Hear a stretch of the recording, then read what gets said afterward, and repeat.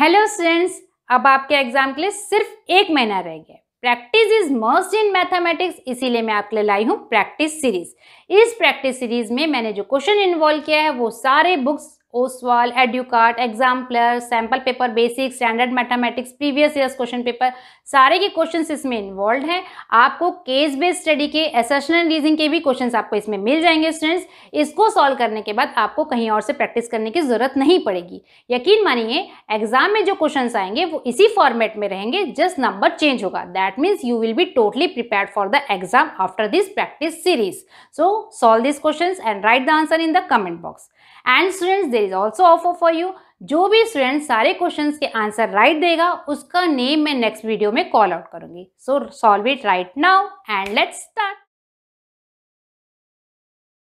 question number one the distance of point P minus six comma eight from the origin is option are there solve it and write the answer in the comment box question number two the parameter of triangle with vertices 0, comma 4, 0, comma 0 and 3, comma 0 is.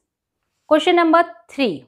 If four vertices of a parallelogram are taken in order are minus 3, comma minus 1, A, comma B, 3, comma 3 and 4, comma 3, then A is to B is equals to.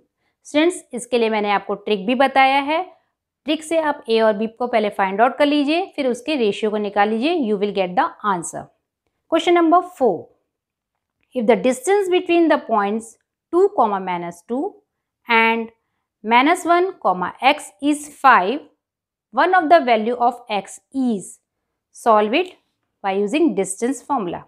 Question number 5. The vertices of a parallelogram in order are A 1, 2, B four comma Y, C X comma six and D three comma five, then X comma Y is. Students, इसके लिए भी आप trick apply कर सकते हैं, जो trick मैंने आपको वीडियो में बताई थी। You will get the answer very quickly question number six the coordinates of the point P dividing the line segment joining the points A one comma three and B four comma six internally in the ratio 2 is to 1 R. Now case based study question. Read the question on the board, solve it and write the answer in the comment box.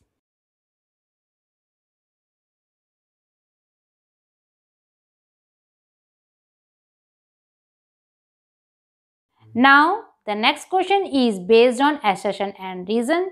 Read it carefully solve it and write the answer in the comment box.